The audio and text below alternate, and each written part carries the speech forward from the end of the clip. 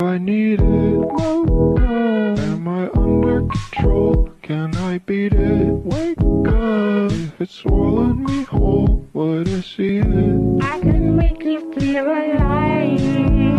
I know, but do I need you to survive?